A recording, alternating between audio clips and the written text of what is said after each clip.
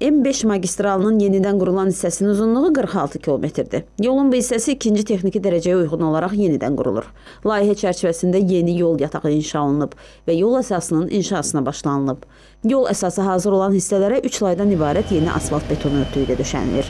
Yol boyu Alıcan çay, Şirvan kanalı və Dəhnə çay üzərində 3 avtomobil körpüsünün tikintisi yekunlaşdırılır.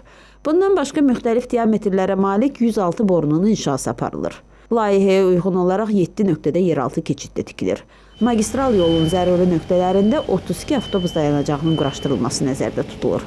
Magistralın 46-cı kilometrindən ayrılaraq Şəki şəhərinə qədər uzanan 12 kilometrlik respublika əhəmiyyətli yolun da 3-cü texniki dərəcəyə uyğun yenidən qurulması işləri aparılır. Analoji tikinti işləri bu yolda da görülür.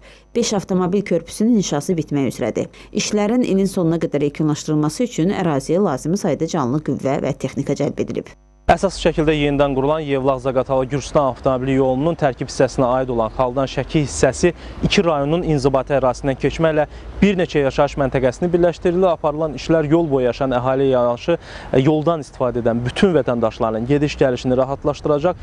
Gürcüstan həmçinin əks istiqamətdə yük və sərnişin daşımasını xeyli asanlaşdırmaqla kənd təsərrüfatının və turizmin inkişafına müsbət təsir edəcək.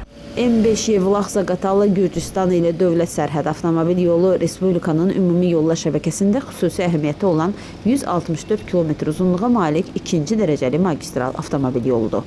Xatırladaq ki, ötən il magistralın 40 km uzunluğa malik Zaqatala-Balakən-Mazımçan hissəsi əsaslı şəkildə yenidən qurularaq istifadəyə verilib.